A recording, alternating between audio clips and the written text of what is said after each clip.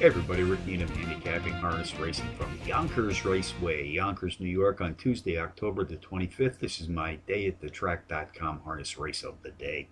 Let's take a look at race 5, 2.20 p.m. Eastern Post Time. We have Pacers racing for a purse of $8,500.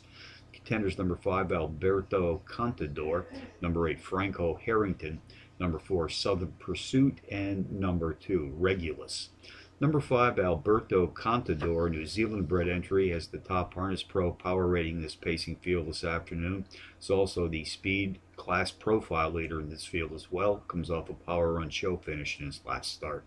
Number 8, Franco Harrington, who was also bred in New Zealand, comes off a power run win in his last outing. Goes to the rolling gate today with the skills of driver Jason Bartlett in his bike.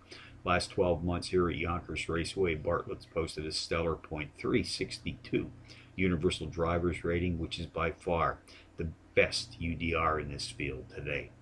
Race 5 summary, all New Zealand breds on my contenders list today, folks. Number 5, Alberto Contador tops the list, along with number 8, Franco Harrington, number 4, Southern Pursuit, and number 2, Regulus. That's 5842 in the fifth from Yonkers.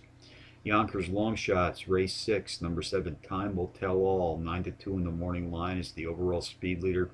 Scored with a power run place finish, facing slightly better company in the second race back. Race eight, five to one shot. Number five, get to doing it. Qualifies as a Harness Pro Power Pony, is the class profile leader in this trotting field today. He's hit the board in power run fashion in two of his last three starts, including a power run win in his third race back. So from Yonkers on a Tuesday, Rick Needham for day at the track.com, reminding you as always to please bet with your head, not over it.